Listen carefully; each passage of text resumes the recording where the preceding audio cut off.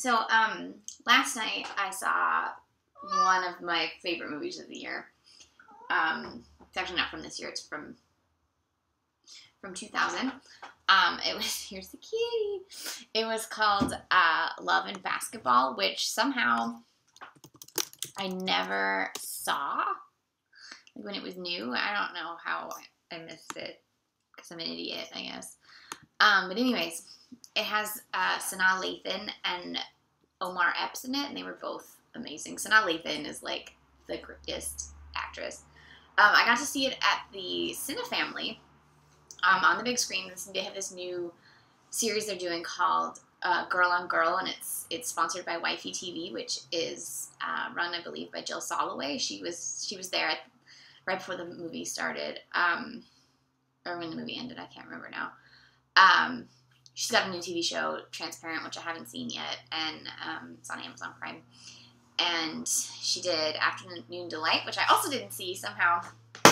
Um, everyone told me I, I, would love it, but I missed it. So, anyways, um, she was there, and I can't remember the name of the woman. I want to say it's Roxane Gay, who did the Q and A at the end of the movie with the director uh, Gina Prince Bythewood. And God, they were both so intelligent and so fun, and it was like one of the best Q and A's I've ever seen. And I've seen quite a few Q and A's, um, like everywhere, but also with the Cinefamily. And this was one of the best I've like ever seen. Really great questions, really great answers. Two just insanely smart women talking about the creative process and the state of cinema and oh it's just amazing and i can't wait for this series to continue i'm going to go to like all of them.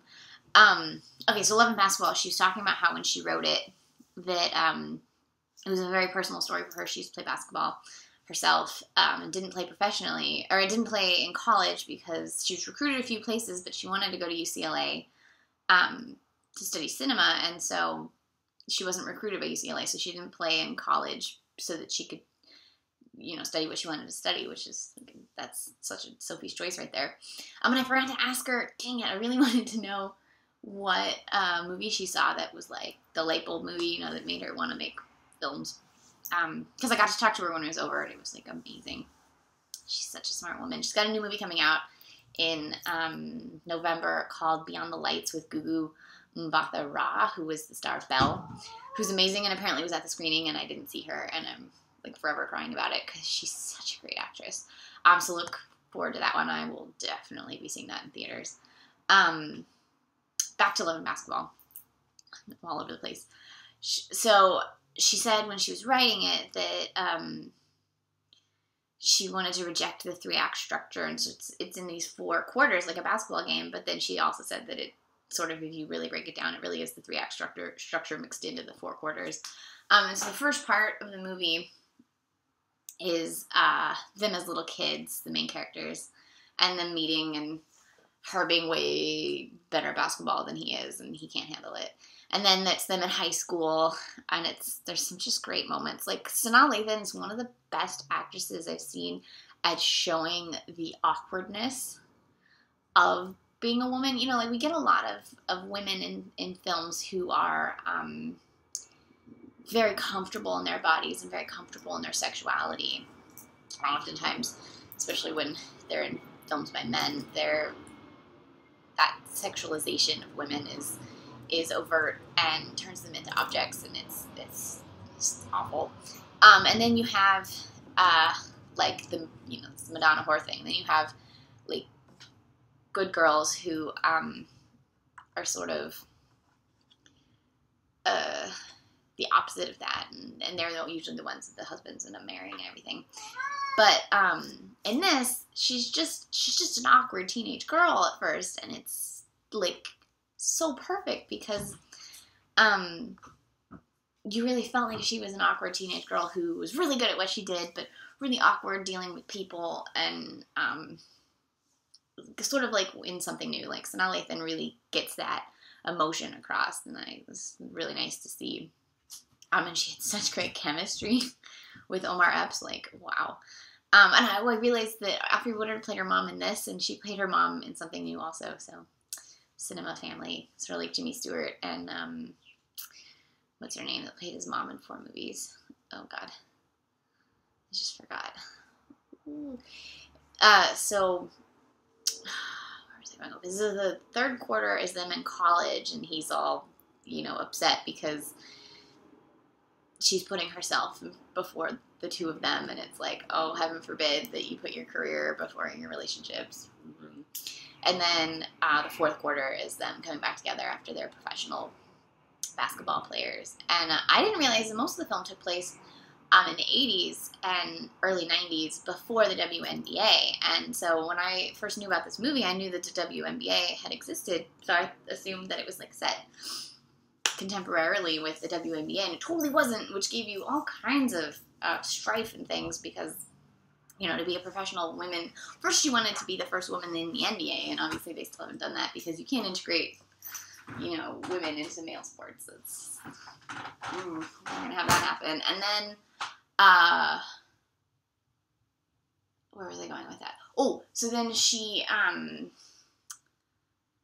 has to go in order to play professionally. You have to go to friggin' Europe.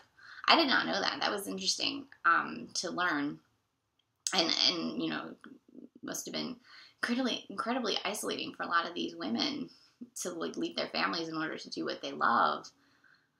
Uh, and then, kind of spoiler alert, at the end of the movie, the WNBA exists, and she gets to play basketball and have a family, and it's a, it's beautiful. And there's some great strife between the like they show the families of both these these kids and their aspirations and and what it's like to have be the the parents of people who are going to become professional athletes, and I found that really interesting.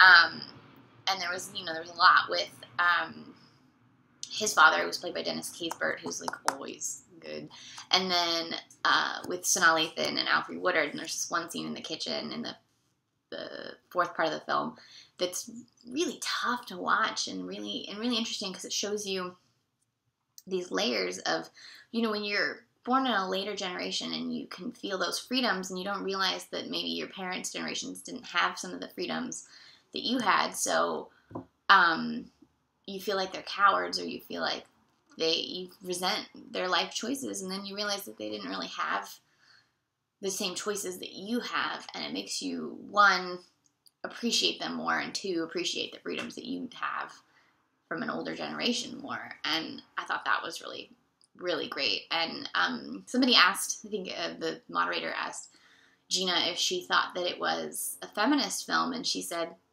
her answer was that if a film about a woman who wants to have it all, who wants to have a career and a family, if that's a feminist film, then heck, yeah, it is a feminist film, and I definitely agree. This was this was a movie about um, women who are passionate and women who want to go for what they want and and how tough it can be on men who don't who aren't used to women to being equal with women they're used to having women as a support system and without that men feel sometimes feel threatened and or they feel like how dare you put your life before mine you're supposed to be my support system or whatever and and this sort of takes that into question and says maybe you're supposed to be my support system dude.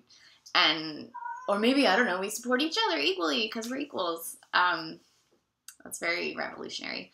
Uh, so i loved this movie i loved it um, i want to see the rest of of Gina Prince Bythewood's movies. She's got that one I told you it's coming out October, no, November 14th. Um, it's going to be so good. I'm really excited for that. And I'm looking forward to seeing uh, her films in the middle of her career. And I just, just there's just it's a really good time right now for women filmmakers, and there's more and more coming. And if you keep supporting them, they're going to get the money to make more films, and that's really it's really what we need. That's what that's what cinema needs these days. That's why everything's so boring because we don't have we have the white dudes just making the same white dude movies, and if we can just stop supporting those and start supporting the, the movies written and directed by women, cinema will be great again, and because it is, and it always has been. So, yes, go see go see Beyond the Lights.